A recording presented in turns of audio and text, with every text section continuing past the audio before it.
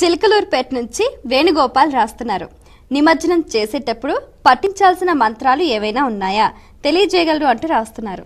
ఇక్కడ ఆ సమయంలో పఠించే మంత్రాలు ఏం లేవు. పూజ పూజ తర్వాత ఉద్వాసన చెప్పడం అనేటువంటిది ఉంటుంది.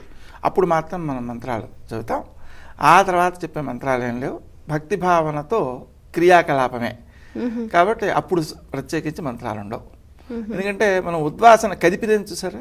ఆ కదిపినప్పుడే యథాస్థానం ఉద్వాసయామి అని చెప్పి మనం హృదయంలో ప్రవేశపెట్టుకుంటాం. సామాన్యంగా పూజ చేసేటప్పుడు భగవంతుడిని అక్కడికి ఆవాహన చేస్తాం.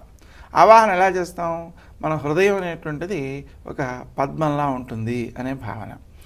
ముడుచుకుని అలాగే తలకిందులుగా ఉండేటువంటి పద్మం ఎలా ఉంటుందో అలాగా గుండెకాయ ఉంటుంది.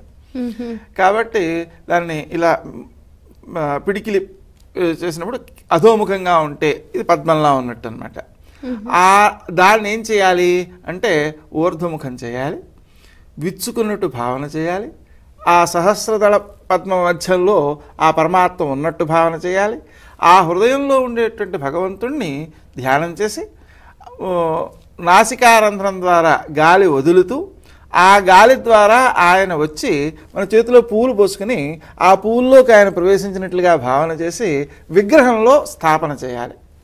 ఆ విధంగా స్థాపన చేసిన తర్వాత పూజ అవసానంలో మరి ఏం చేయాలి? అంటే అక్కడ ఉండేటువంటి పుష్పంలోకి ఆయన ప్రవేశించినట్టుగా భావన చేసి దాన్ని వాసన చూసి ఈ గాలి రూపంలో లోపల ప్రవేశించి హృదయంలో ప్రవేశించినట్టుగా భావన చేయాలి. అంటే ఆ భగవంతుని మనం లోపల నుంచి తెచ్చుకున్నాం అక్కడ పూజించాం మళ్ళీ లోపల ప్రవేశపెట్టుకున్నాం. అంటే లోపల దైవం ఉంటే ఏమవుతుంది?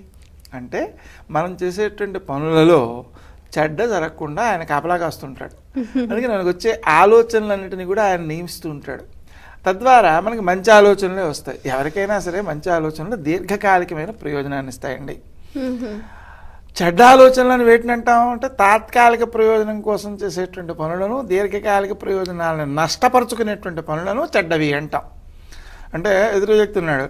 ఆ వ్యక్తితో స్నేహం పెంచుకున్నాం అనుకోండి ఆ వ్యక్తి ప్రాణత్యాగానికి కూడా సిద్ధపడి మనకు ఉపకరణ చేయవచ్చు తర్వాత. కానీ ఆరంభంలోనే అతని నుంచి ఏ కొద్దిగానో ధనాన్ని మోసం రూపంలో తీసుకున్నాం అనుకోండి ఆ వ్యక్తిని కోల్పోతాం. అంతే కదా?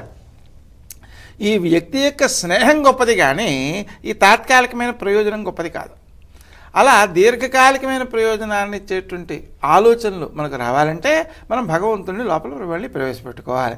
అలా చేసిన తర్వాత ఆ విగ్రహం ఏమైంది అంటే అక్కడ దైవత్వం తీసేసుకున్నాం కదా అక్కడ మామూలు అయిపోయింది దాన్ని మనం నిమజ్జనం చేసేటప్పుడు ప్రత్యేకించి మంత్రం